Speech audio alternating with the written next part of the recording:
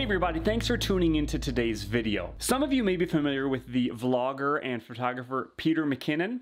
If you're not, you should. You can check out a link below to his YouTube channel. Really great photographer, videographer. He employs some really cool techniques in some of his videos that really give him kind of a step above the rest in his what his videos look like and the kind of performance value and the production value of his videos.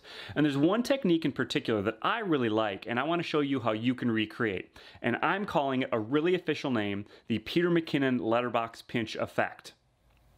Something like that. And what it is, is it's a way by which you can make the top and bottom black bars of your video just get a little bit bigger so the video gets wider, if you will. It gets shorter from top to bottom and it really kind of gives an emphasis of something unique is about to happen, something special, something different is about to happen. It kind of focuses your attention and it's got a really cinematic feel to it. It's really useful if you want to kind of focus attention towards something, a change in the scenery or a change in tempo, a change in mood in your video. Let's get into Premiere here and I'll show you how it happens.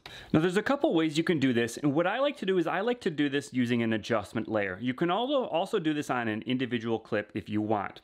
I just like the adjustment layer. It gives me a little bit more flexibility, I think.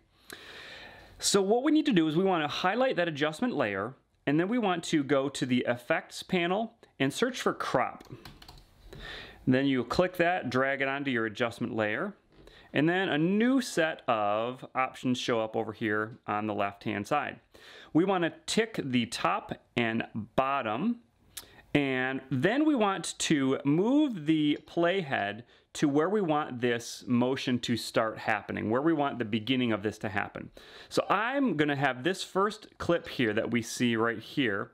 I want this clip to, at about the end of it somewhere, start pinching in. So let's say about, let's see, the end of it is about 317. Let's go about, oh, back to two seconds or so, roughly. And I'm gonna start here. Remember, we got to be having the adjustment layer highlighted. And then I'll click on the adjustment layer again. And here I'm going to click this little button which, say, which will add a keyframe. Boom, and we see those show up here. And then I'm going to move this to where I want the ending to be. And I like to have it be just on the final frame of the clip. So at this point, I'm going to click on the top and make it 10%. And you'll see what happens up here when I click out of it. See, it pinched it down. 10%, click out of it, pinches it down. So now when we go back and watch this part here,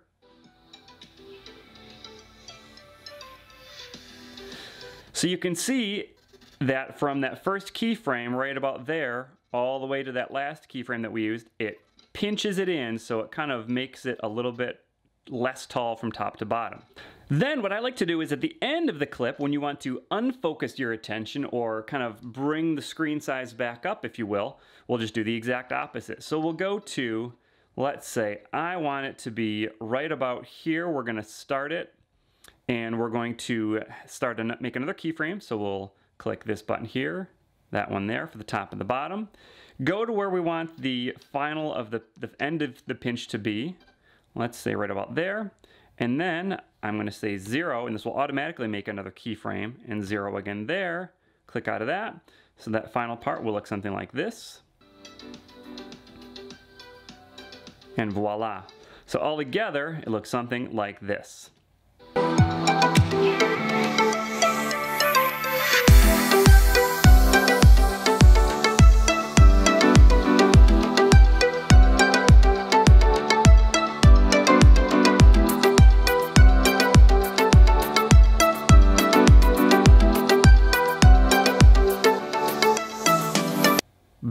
It's as easy as that. Thanks for watching. I hope you liked the video. If you found it useful, go ahead and hit that like button down below. If you want to see more of these videos, hit the subscribe button and the notifications, turn them on. We'll see you in the next video. Thanks for watching.